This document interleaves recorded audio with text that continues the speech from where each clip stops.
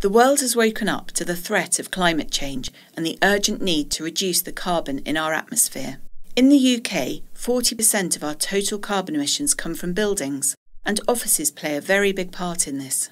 It wouldn't make environmental sense to knock all the old offices down and start again.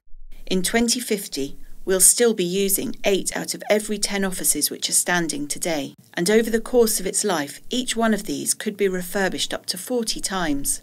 Every time this happens, there's an opportunity to reduce carbon through the design, operation, and life cycle of the office. We do this by making sure we avoid waste during the works, and we design using fewer new materials.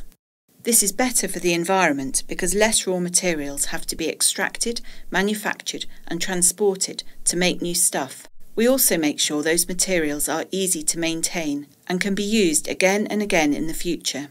When it comes to day to day life in the office, all the systems, such as lighting, ventilation, heating, cooling, and insulation, are as energy efficient as possible.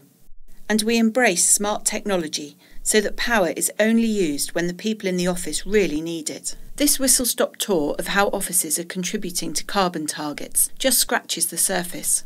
Find out more by reading our low carbon fit out insight paper or visiting our website.